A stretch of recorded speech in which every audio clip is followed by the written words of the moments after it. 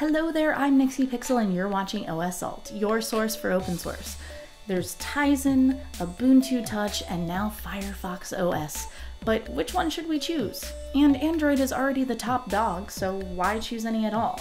So I figured it was time to do Battle of the Open Source OSs, starting with Ubuntu for phones.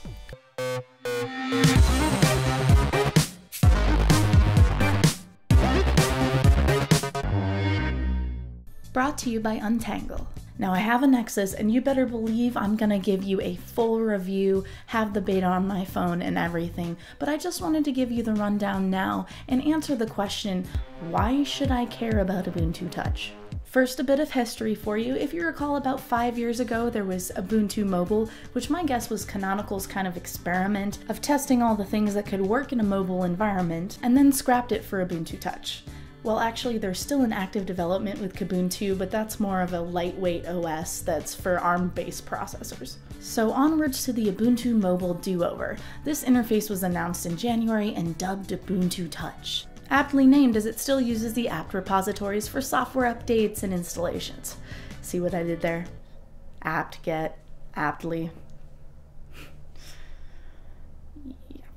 Sorry GNOME 3 fans, Ubuntu has a Unity interface, but on the upside you're supposed to get a full-on Ubuntu desktop experience when you dock it with a monitor. So uh, that's a tall order, but that's not all. What Ubuntu Touch claims to do. So, as you know, our phone is a computer, but Canonical claims that we're only using it with the limitations that a phone has. So I will let good old Mark tell you what they have in store for us. One platform for all kinds of computing. Your phone, tablet, desktop and TV, and of course the cloud, and your personal supercomputer. Ubuntu is the first platform to aim for complete convergence of that whole range. Now, when it came to designing the phone, our challenge was to distill all of that down to its true essence into something you can use in one hand. And in meeting that challenge, we've made something remarkable, something you're going to love. It reflects you beautifully when you turn it on. It has a unique home screen that organizes itself around your needs, and it leaves more space for the good stuff than any other phone. With that being said, Canonical's shooting to release devices that have Ubuntu Touch on them by fall of this year, and we are rest assured that it will be fantastic. Awesome. Extraordinary. Amazing. Excellent. Great. Beautiful.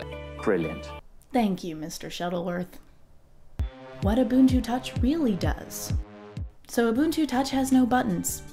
It's the first mobile OS that activates all the epic swiping capabilities of every edge of your screen, allowing you to swipe through status messages, applications, etc., and so on. It has a launch bar just like the Ubuntu Desktop Edition, and also Dash, where you can search for anything, be it on your phone or online. It even has aspects of the HUD that is voice activated, say a function, and it'll sort through the nested menus to find it. You can also reply directly to text messages and social media without having to load up a whole app to do it. Oh, and to overwhelm you with features, all your data is synced with Ubuntu One so you can theoretically access it from anywhere. And that's pretty damn cool if you ask me, but no buttons. I don't know if I, maybe I'm a traditionalist, but the whole UI seems kind of confusing to me. I will get to all that in my review later though. The catch. Right now, the big thing is, and I assume it's because it's so new, that there's no devices organically running it, and that's fine for we geeks because we're kind of into that, but for the average user, installing something manually doesn't really make sense, I don't think.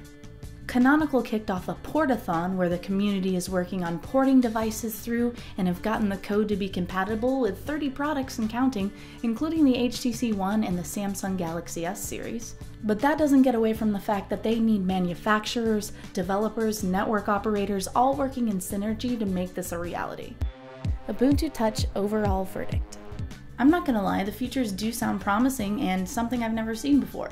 To make my phone into a computer just by plugging in a cord and merge the divide between devices and make all my data available to me from Ubuntu One, regardless of me being on my phone, desktop, or tablet.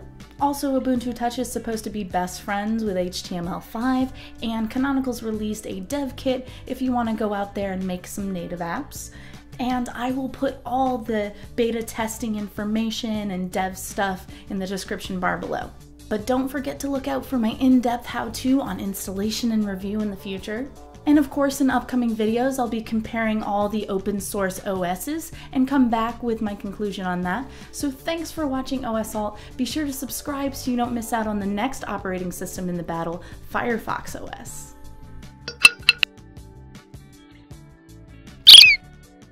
Sometimes I feel like a multicast packet. I ask 10 different people how to get somewhere and get 10 different answers. Horrible network joking aside, if replacing your old UTM, firewall, or gateway is your question, Untangle is your only answer. Whether you're looking for a hardware, software, or virtualized solution, Untangle is a complete multifunction firewall and internet management application suite.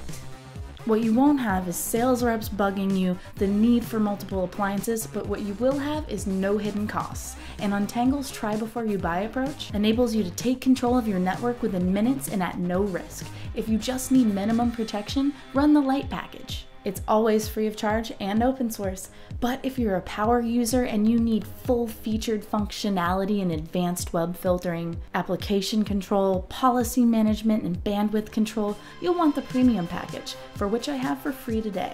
Untangle's proven network software solutions protect more than 2 million people and their computers, so it's time for you to get a chance. OS Alt viewers will get a 14 day free trial of all the Untangle premium package apps and will save 20% off list price with the promo code OSALT. And all you have to do is visit untangle.com slash OSALT. And how do you catch an Ether bunny? With an Ethernet. No one? Okay.